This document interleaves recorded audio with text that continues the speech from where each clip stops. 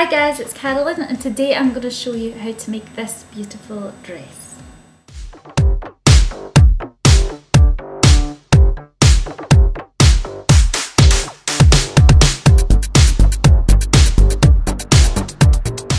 If you like the look of this dress, I have a range of videos on my website that show you how to recreate them. What to do is watch the video and if you like the dress you see in the video, you can then purchase the pattern pieces, which are the paper pieces which act like a stencil that you can cut out on fabric, sew together to recreate the dress.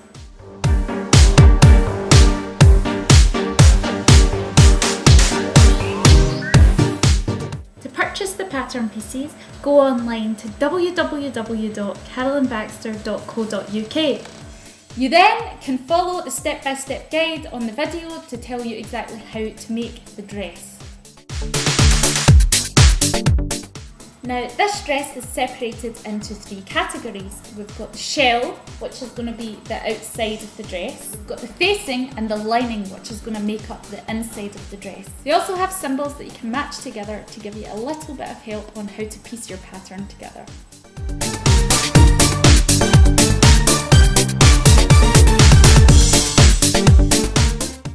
For this dress, you'll need one or two different types of fabric for the shell. Now, as you can see, I've used two. Use some colour tones that work well together when you're choosing your fabric and trimmings.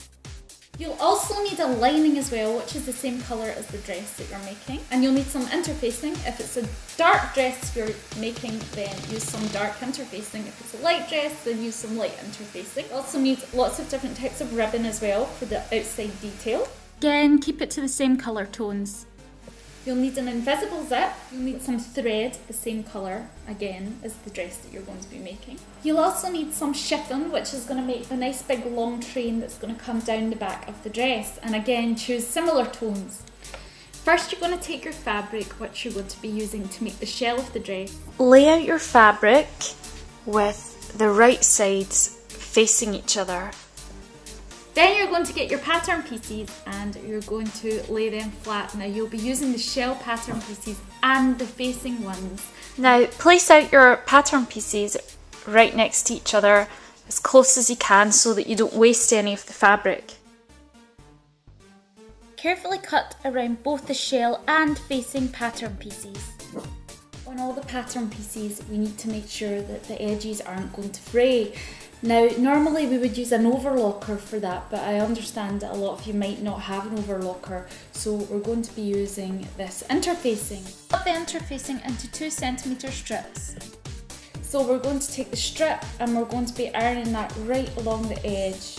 Now remember this is the back of the fabric that you're going to be ironing it onto. Do this to all the pattern pieces that you've cut out. Now you've cut out all of your shell pattern pieces, you can place them down in front of you and start sewing them together.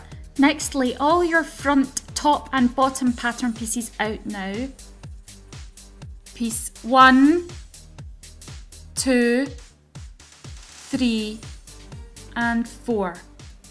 Now you're going to lay them out flat so that you can see the whole front of the dress take shape in front of you. Then we're going to begin sewing. Now, we're going to start off with the front top and sew them together. These are front top pieces 1 and 2. Make sure that both right sides of the fabric are facing each other. That way, when you pin,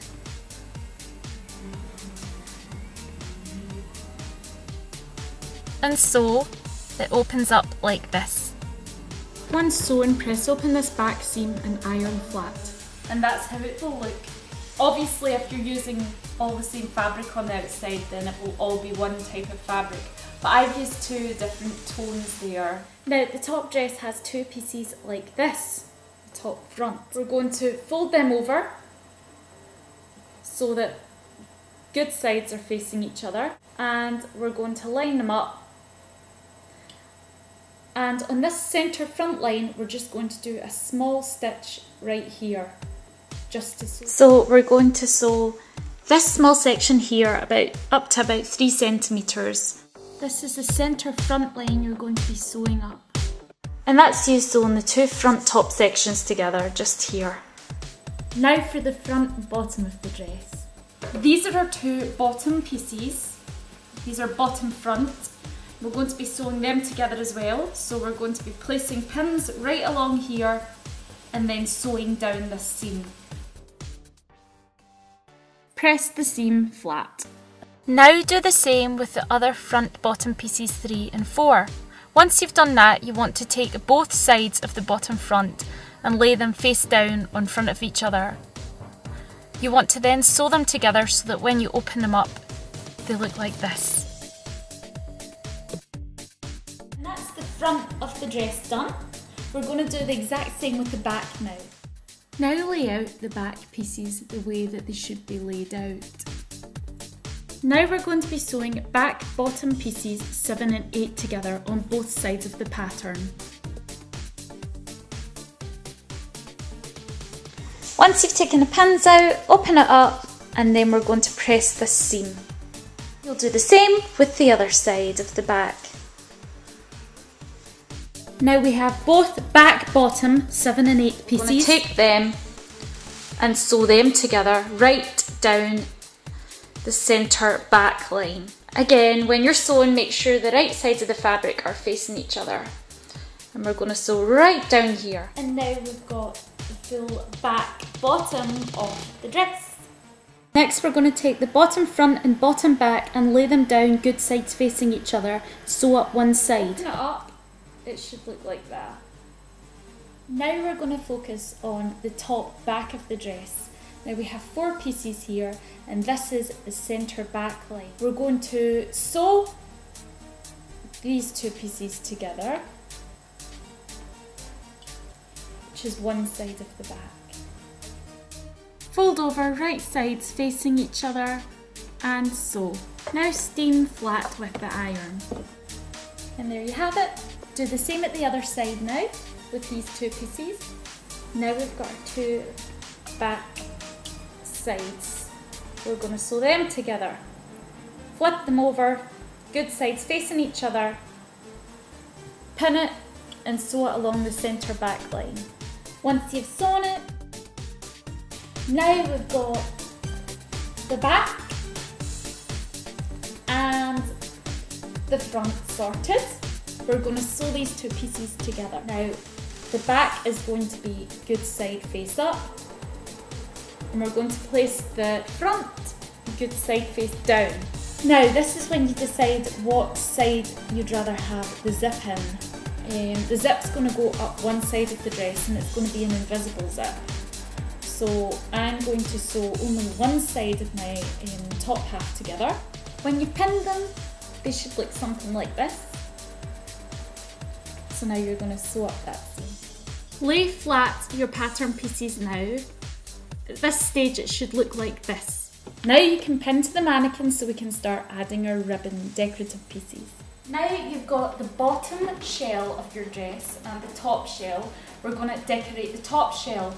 We're focusing on this bodice part of the top. We're going to be taking the ribbon down this front seam here and I'm going to be sewing two stitches to hold the ribbon in place pin in place and then sew.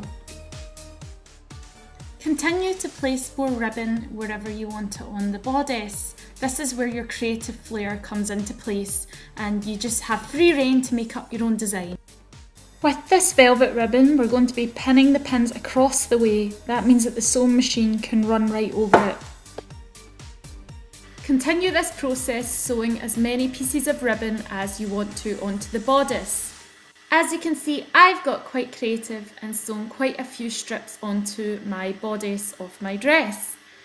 You're going to sew the top and the bottom pattern pieces of the dress together. Lay them down flat, good sides facing each other and sew all the way along here.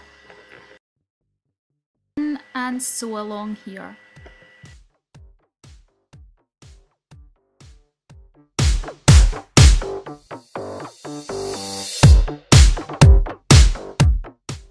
So this is what your dress should be looking like now. It's beginning to take shape. Now we're going to place the dress face up. Then we're going to fold it so that the back of the dress right side is facing the front of the dress right side. Now we're going to sew that up there to the marked pin because that's where our invisible zip will be. And this is what we will have now. We've got our full shell of the dress and in the side seam we've only sewn 20 centimetres up so we still should have this side open. Now it's time to start with the lining.